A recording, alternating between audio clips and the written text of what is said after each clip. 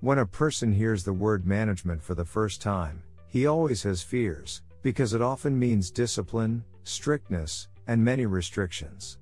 But with the book The Practice of Management by Peter Drucker, the whole concept changes, and management becomes a practice and an art. It is a real book that discusses management as a whole, and describes it as a distinct function, and a specific work. It talks about running a company, managing directors, and discusses how decisions are made. Therefore, Peter Drucker has introduced the concept of management in an unprecedented way despite the presence of important writings and books before it. So, this book introduced the successes or failures of companies and institutions, which made those interested in this type of work realize the importance of management and seek to improve and develop their performance.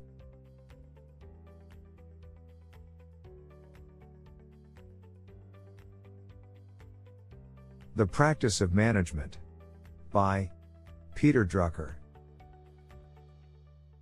Management has its own nature that differs from the rest of the elements of life. However, there is a great overlap between it and a group of related concepts, perhaps the most famous one is the word leadership. Is leadership the same as management? To answer this question, we have to distinguish between the two words. Theoretically, we can distinguish between management and leadership. But practically, this is difficult, because no one disputes that whoever runs an institution or company must have all the leadership qualities, otherwise, how will he manage his human and material resources? What we must understand in this context is that management cannot be acquired by a person from examples around him, nor from courses that states how important the management is. But management is something else, as it is more like the energy and ability that a person acquires from his continuous practice with his surroundings and the various situations he passes through. This makes management closer to acquired qualities and given talents than to knowledge in its precise and strict concept.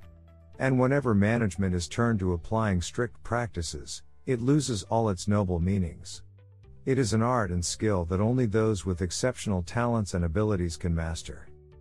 Bit to remember Management consists of acquired qualities and abilities that are far from being a strict science. To know the meaning of company management, we need to ask the following question What is a company? To answer this question, we say that the company is managed by people and not by forces. Profit is not always the objective, logical condition of economic activity. This means that we cannot always define the company through profit and gain. Because the profit maximization theory is nothing but a complicated way to paraphrase the old phrase buy low, sell high.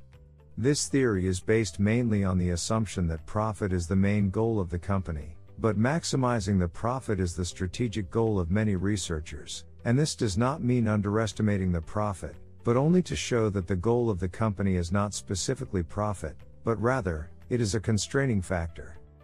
The result of the company is specifically innovation, marketing, and productivity, and at the same time, it is testing this performance.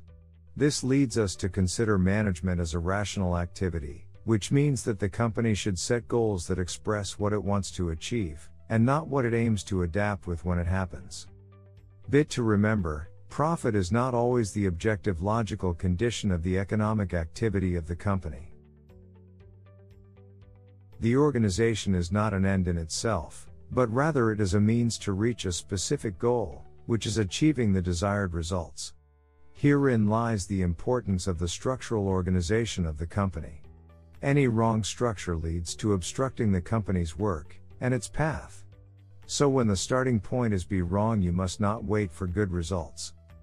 There are three ways to determine the type of structure needed to achieve the objectives of a company, which are activity analysis slash decision making analysis slash relationship analysis. Activity analysis. It means that the company has specific objectives of typical functions, which can be applied to everything without prior analysis. And in this is marketing, engineering, accounting. Decision making analysis. The analysis of the decisions necessary to achieve the performance needed to achieve the objectives. Relationship analysis. With whom does the manager work? What contributions should he make to the managers responsible for other activities?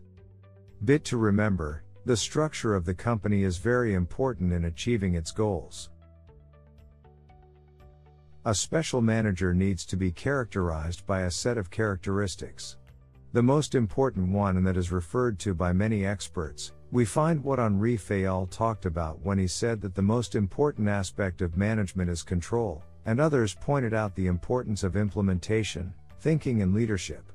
Despite the importance of all these characteristics, the manager has two specific tasks that no one else in the company can perform, and whoever performs them automatically acts as a manager. The manager is responsible for the task of recruiting the best employees that can work together in harmony. Here we can compare the manager to the conductor, although each instrument in itself represents nothing but noise, yet the conductor of the orchestra has the composer's note in front of him. The manager is also responsible for achieving consensus among each decision or action between the requirements of the far future and the near future. Most managers spend their time on things that are not at the core of management. But a successful manager is the one who sets goals, analyzes activities and relationships, motivates, communicates, and develops his employees. Bit to remember a successful manager doesn't spend his time doing things that aren't at the core of management.